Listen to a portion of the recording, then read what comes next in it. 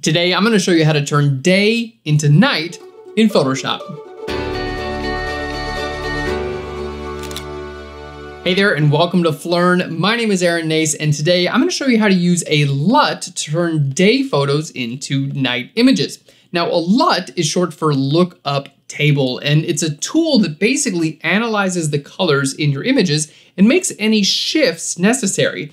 Now, the cool thing about LUTs is that you can use them in a variety of programs. You can even use them for videos. And we actually have an entire library of LUTs available on phlearn.com that's included in your Phlearn Pro subscription. So let's go ahead and jump in and show you how to do it. Now, here's our sample image for today. You're gonna be able to download this as well as the LUT that we create for this video. So to get to your LUTs, simply go to Layer, down to New Adjustment Layer, and down to Color Lookup. Now, this will allow you to apply a look with one click. So let's go ahead where it says 3D LUT file. Of course, you can load your own, and that's where the Phlearn library of LUTs comes in, because you can download them and load them in here. Or you can simply use one of these that's preloaded with Photoshop. So let's go ahead and go from the top down. We have a two strip look, and you can see as I go down the list here, my image completely changes. Each one of these different LUTs gives my image a different look. And it does this by simply pushing and pulling colors in one direction, taking our highlights and it's pushing them towards a yellow effect, giving us this edgy amber. Now these are included with Photoshop, so you can just open up Photoshop right now and go ahead and go through this list. Now I'm not gonna go through all of them, but right down here we see night from day.cube. And here you can see it does a really great job turning a day photo into night. Now, my suggestion would be to choose a photo that has a relatively well-defined light source. You can see here we have our bright highlights and our dark shadows. That's generally how uh, light works at night because it's like street lights and things like that. You don't have like huge broad light sources. It's generally smaller point light. So look for an image that has uh, like well-defined shadows. It's gonna look a little bit better.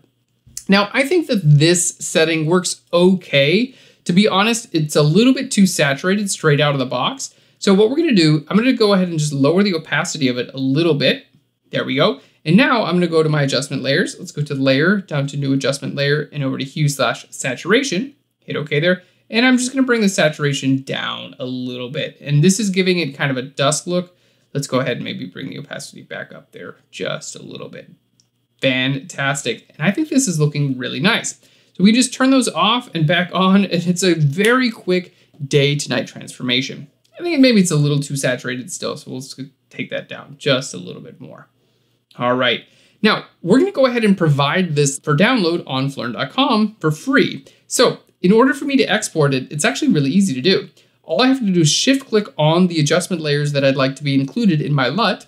We're going to go to File, we're going to go down to Export, and I'm going to go to Color Lookup Tables. Lookup Tables is stands for LUT. There we go. We have our description, Phlearn day to night. We're just going to take that JPEG away. Okay, and we want to make sure we include all of our different formats, and this is going to help them be used in multiple different programs. So I'll hit OK there.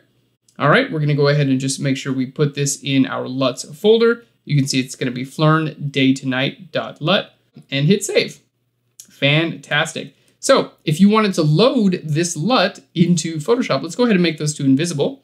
We could simply go to our layer, down to new adjustment layer, and down to color lookup. Hit OK. And then here where it says 3D LUT file, load 3D LUT, let's go ahead and click there and go to your file that you just saved out. We're gonna go to phlearn and hit open. And there we go. We can see it applied to that exact effect that we just saved out and it's in one layer. So I can go ahead and delete these other two layers. We don't need them. We're gonna drag them to the trash. And now this LUT, you can see, is saved right here. And we have our Phlearn day to night LUT. So that's going to be available for download as well as a sample image for free on phlearn.com. And if you like LUTs and think they're useful, which I think they're incredibly useful because they can recolor your images with just a click. Be sure to check out Phlearn Pro. It's a subscription that gives you access to over 200 of our pro tutorials. These your full-length tutorials teaching you Photoshop, retouching, photography, compositing, things like that, as well as our exclusive library of Lightroom presets, LUTs, actions, and brushes. Alrighty, thank you so much. I really hope you enjoyed this. Let me know what you think in the comments down below. I'll learn you later.